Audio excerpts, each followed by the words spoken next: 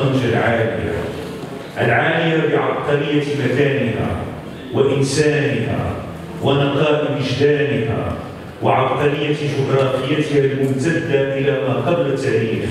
هذه البذلة الأنيقة عاشق كبير يدعوكم جميعا واحدة واحدة واحدة واحدة.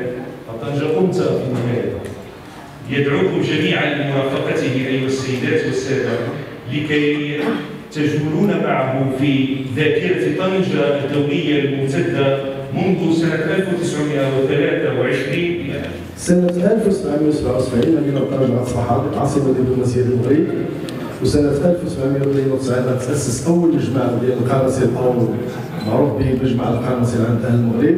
سنة 1840 غتأسس مدينة طنجة أول groupe d'hygiène كانوا كيطلقوا عليه المغاربة آنذاك بمجمع العافية.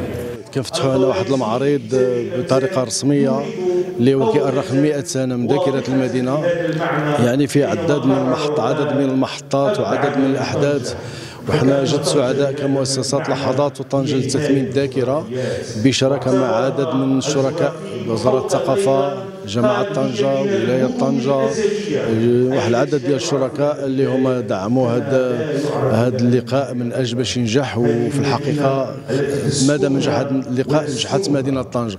حنا كنحاولوا نعطي واحد الصورة مشرفة للبلاد وما تزخر به المدينة من تاريخ عريق ومتنوع في عدد من المحطات. مثل مثلا طنجة كل يعلم أن مدينة كانت عالمية في واحد الوقت من الأوقات. وفي نفس الوقت حنا كنتمنوا كل ما له علاقة بذاكرة هذه المدينة.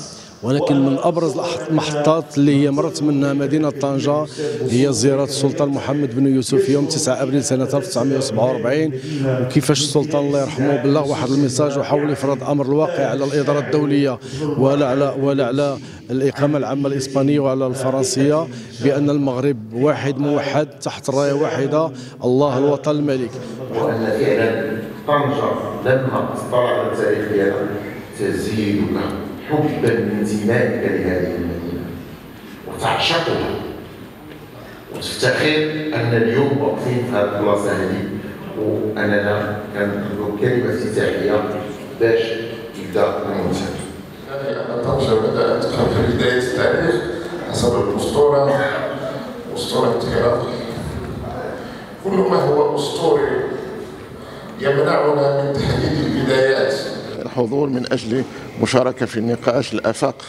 يعني العالميه لمدينه طنجه ماذا يمكن أن نقدم نحن لمدينه طنجه وما يمكن أن تقدم مدينة طنجه للمغرب خاصة بموقعها الاستراتيجي الذي يطل على يعني بحر البحر الأبيض المتوسط ويطل على المحيط المحيط الأطلسي. ولكن القرب من أوروبا أيضا مهم جدا.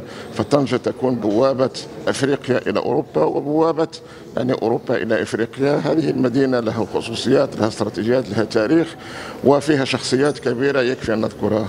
يعني ابن بطوطه أو نذكر محمد شكري أو نذكر عبد الله جنون يعني شخصيات عالمة كبيرة أعطت أيضا زخما عالميا لمدينة طنجه اذا نحاول أن نتحدث حول كل هذه يعني الأحداث التاريخية الكبرى التي عاشتها طنجة. ولا يمكن أن ننسى أن نذكر بالتعدد الديني الثقافي اللغوي الذي عرفته طنجة ولكن أيضا التعدد الحضاري انماط العيش العيش انماط الحياة كان هناك الأكل الإيطالي الفرنسي الإنجليزي المغربي الأمازيغي الأمريكي اذا مدينة متنوعة متعددة يمكن تقوم أن تقدم نموذجا لما يجب أن تكون عليه المدن في العالم اليوم. هذه المدينة بزوجتين يمكن أن نسميها بالمدينة الفاضلة بالمفهوم الرشدي أو بالمفهوم الأفلاطوني. هذه المدينة التي تستجيب أو تجيب على مجموعه من التحديات التي يعيشها الإنسان اليوم في العالم الذي نعيش فيه. طنجة ترحب بكم الدكتور عبد الله وصوف وتصفق بالكفوف أيها السيدات والسادة